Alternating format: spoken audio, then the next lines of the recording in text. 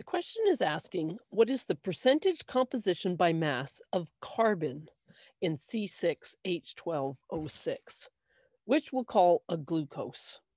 Although depending on how the atoms are arranged, some molecular formula could be uh, galactose or a fructose. Okay, to answer this question, we first have to calculate the mass of carbon in our compound, and then we'll find the ratio of that mass to the mass of the entire compound. So let's calculate the mass of our carbon. As we can see from our periodic table, the atomic mass of carbon is 12, and we have six atoms of carbon in our glucose. So we would multiply six by our atomic mass of 12 to get 72 atomic mass units just for our carbon. Okay, so now let's calculate the mass of our glucose. To do this, we're going to have to calculate the mass of each of the elements that are in the compound, and then we'll add those all together. So let's take a look and see what we have.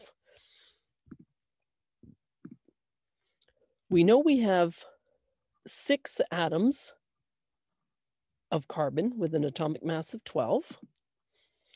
Our hydrogen has an atomic mass of one, and we have 12 hydrogen. So 12 times 1 would give us the atomic mass of all of our hydrogen. Oxygen has an atomic mass of 16, and we have six atoms of oxygen. So if we add that all together, we have 180 atomic mass units for our glucose. We're trying to find the percentage composition of our carbon compared to our glucose.